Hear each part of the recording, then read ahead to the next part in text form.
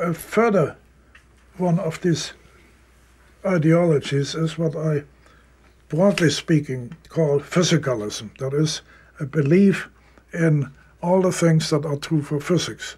For instance, uh, determinism. When you go back to Laplace, around 1806, he made the statement if he had an exact description of everything in the world as it now exists, then he could predict what would happen in the world until infinity. Well, uh, even within physics, by 1850, Maxwell's uh, uh, equation, etc., this strict determinism was no longer believed. And of course, in biology, in a field, let's say, like evolutionary biology, uh, predictions are possible usually only in comparatively simple situations like putting certain chemicals together, you can predict what will happen. Uh, but in all more complex situations, uh, the prediction at best is probabilistic. That is one of the physicalist components.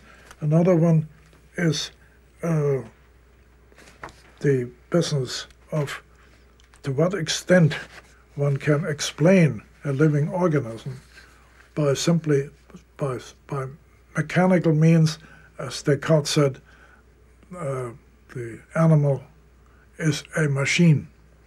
Well, this led to the famous fight between the mechanists and the vitalists. The vitalists said, no, uh, an animal is more than a machine. There's something there that is not explained by the machine metaphor. However, the vitalists, all their endeavors to solve what this extra is, the uh, Lebenskraft, the uh,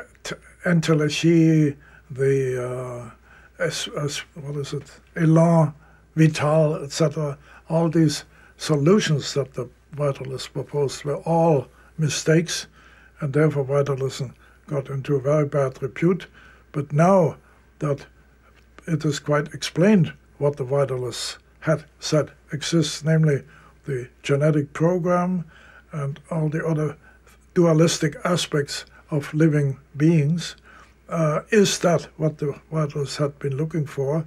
And uh, it now, in retrospect, is quite clear that the vitalists basically were uh, more correct than the mechanists, except that their attempts to provide a solution were mistakes.